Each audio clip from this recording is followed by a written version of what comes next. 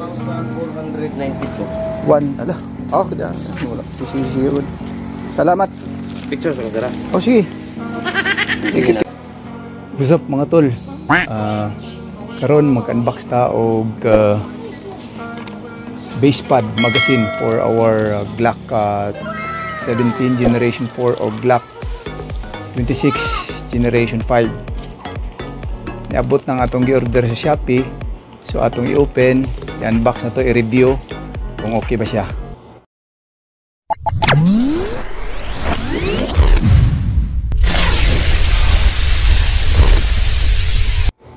So mga tol, uh, disclaimer lang. Dili sponsor si Shopee diri og si Glock. Uh, sponsor na to karon is ang J Store. Butan ako sa ubos ang ilang mga product. Haranahin So mga tol, ato nang i-open. Ato sa tanaw no. Plastic siya, naka balot. Gidahatod ni ganina sa Shopee.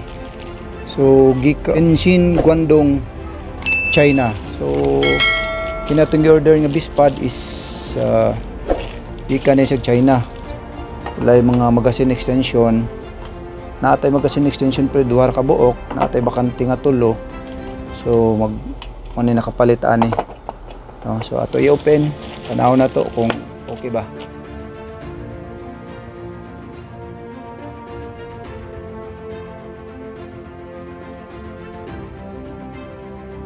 Wrap siya, naka-bubble wrap. So, tanaw na to. So, kini nga magazine is base pad plus 2 ni siya nga magazine. Plus 2. Hindi mo taganahan na itong plus 5, plus 10. Taas na kayo. So, open the bubble wrap. Wow. Tumaw ni siya. Oh. Oh, tanaw na to. Nawa, na siya yung mag spring. So far okay lang spring. And then na siya yung pakapin nga alin. So hindot. Skinny aluminum. So diri di ani siya kini. Alin is intended para diri. Matanaw na ay gamay nga lungag. So para siya ilak. Ilak ni niya ang ang kuan diri. To oh. Good sad so ma-release up and down na siya. So mao siya kadala og lock so ato ni testing hindi kabuok no? So tanawan tanawan ninyo. Indot siya uh, made of aluminum. Di sad siya kayo bugat. Okay siya. Well situate ko ay compare ni mo aning plastic. Mga plasto gyapon siya sa Glock so compare ni mo siya.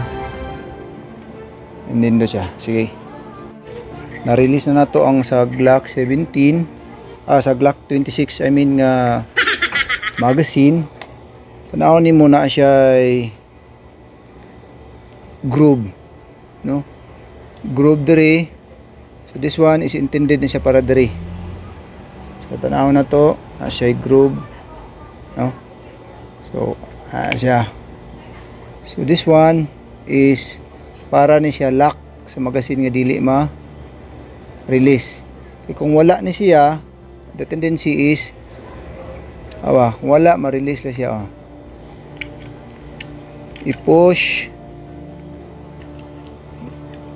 push niya siya I think that's it. No? So that's it. Lock na. Para dili siya mahulog, lock ni siya. So ato ni siyang ikon diri. Ihugot. No? Muna yung itsura.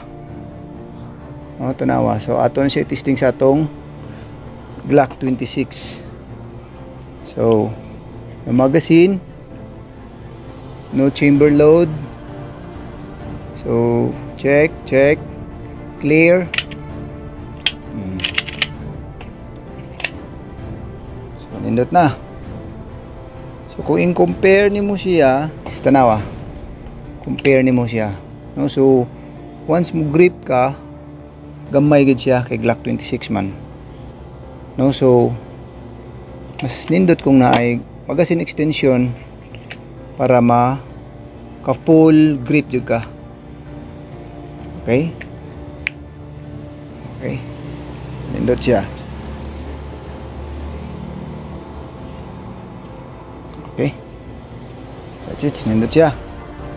So, itry na to ang sa Glock 17. So, okay. Ayos, ayos, ayos.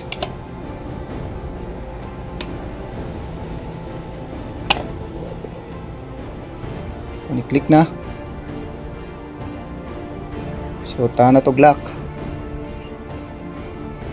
So, since wala pa nahugot, mahulog man siya og dili ihugot. So, ato siya ilak. Ilak na to diri.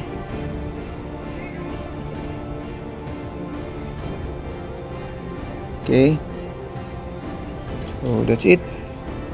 Oh, so, ato na siyang itaod, no? Dito na siya, na-lock na. Uh, fully ko na, then clear na to itong firearms. Action check, no chamber load, no magazine, clear.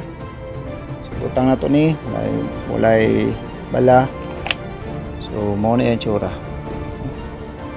So, nindot na siya.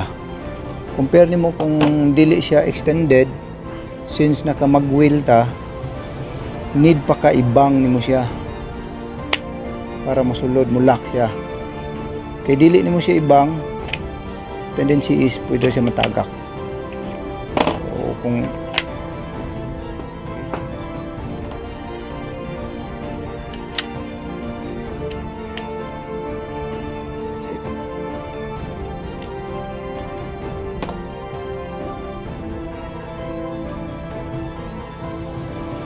So mga tol, uh, maon to to ang ah, short video about sa review sa ato ang uh, base pad magazine extension. So daghang kayong salamat sa inyong pagtanaw o ay kalimot sa pag-subscribe, like, and share. Daghang salamat.